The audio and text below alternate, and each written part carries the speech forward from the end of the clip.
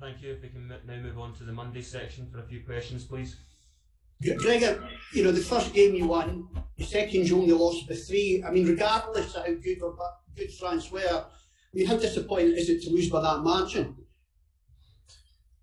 Yeah, Rob, it's very, look, it's very disappointing. I think we've we've shown over the last couple of years that we've we've either won games or we've lost them uh, by close margins. Uh, so it's it's obviously disappointing to lose it by more. But to be honest, whether we lost by a point or, or 20 points, it it doesn't change things too much. Like our, our goal is to win the game, and to win the game, you've you've got to got to take your opportunities uh, when you get them, and then it becomes a different game. Be, the, the, the opposition have to do something different, um, and that's not what happened today. That's not taking opportunities. France getting those tries either side of half time made it a, a very hard game to win.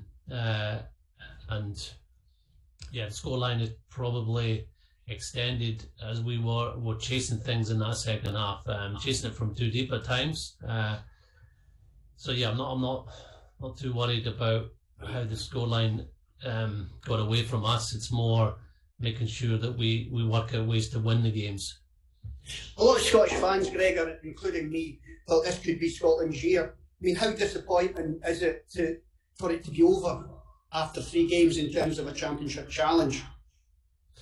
Yeah, very disappointing. We, we go into every championship with aspirations of, of winning each game we, we play against and being in the mix as you go into the last two weeks. And despite the uh, the result in, in Cardiff, we, we still had an opportunity today to, to be in the mix if we'd won, but but we haven't, and it's it's over to other teams to challenge for that that title now. So it's we know it's a it's a huge tournament, uh, the, the Six Nations, and we still have two important games to to improve and to show what we're capable of.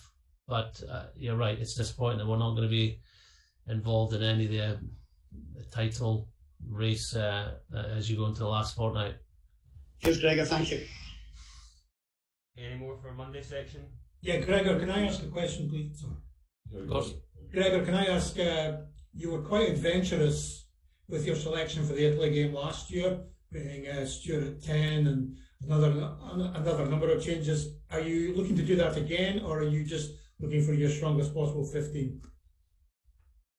Yeah, pro- probably strongest possible 15. Like, uh, last year, obviously, Stuart played because because Finn wasn't available. Uh, but we'll we'll look at everybody in terms of performance on uh, today. Who's put their hands up for selection? Who's who's under pressure? Because um, there's players playing uh, outside our squad that are doing well. So we, will we've got two weeks to assess that. We we we know we've got to put our best team out and our best performance to win in Italy. They'll be hugely motivated by the scoreline uh, and France getting tries from our errors today. So we will have to play a lot better next week to, to win that game, and we'll.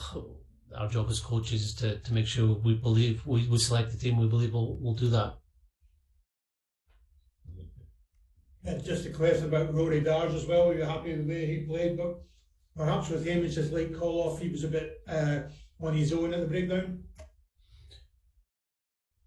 Yeah, look, I think we did get a few um, turnovers outside of um, Rory, but Rory was the, the big co- contributor in that area. We, we knew that uh, Karl Dickson rewards Jackals. He's in terms of the stats this season, he's the highest of any referee in world rugby. So it was one reason we, we went into the game with two open sides, and as you saw how the game played out, uh, you were getting rewarded for, for Jackals. And at times we, we did well in that area, especially Rory. I thought Rory was outstanding in defence and attack. Uh, his ball carrying was really good, um, and the effort he put in for 80 minutes was, was superb. But uh, defence is not just about jackals and and winning turnovers at the ruck. It's about other things. It's about forcing teams back, um, counter rucking at times, um, getting rips. You saw France got three rips against us in the last 10, 15 minutes. So that's a team thing. Not not everyone's going to be a jackler, but we've got to make sure as a team we are putting pressure on the opposition ball in defence. Um, and while while it was difficult at times because the ball the French got wasn't just off set piece or off slow phase play, it was off turnover. We know we can improve in that area, like, like we can improve in, a, in attack. Thank you. Thanks everyone. Thank you. Cheers. Thank you. Thank you.